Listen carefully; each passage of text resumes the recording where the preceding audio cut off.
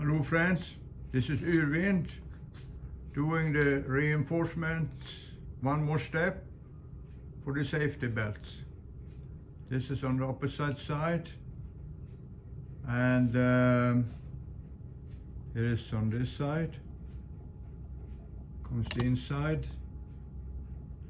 and from looking how it looks here, four different ones and so the rope goes around this one and then comes the webbing.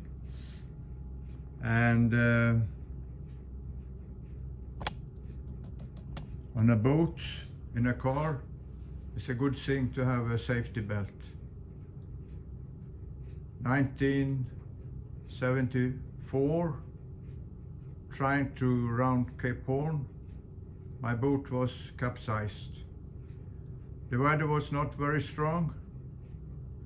And but an odd wave came and hit the boat from the side and over it went. And it caused a lot of problems. Water came in and at that time I didn't have a good ventilation system and some things got thrown around. Then I fixed it and uh, got out the water. But then a week later a terrible storm came. It came up very suddenly and very strong and after four, four hours the boat pitchpoled. So now you don't really know when it comes. I've been ruled in a car when it was ice in the downhill in the Sweden was like in the evening, the day been sunny, but then like when the darkness came on the north side of a hill, it was just icy and there was no way to controlling the car and there was the summer tires and it was a long time ago and boat rolled over. But on a boat it's much more easy.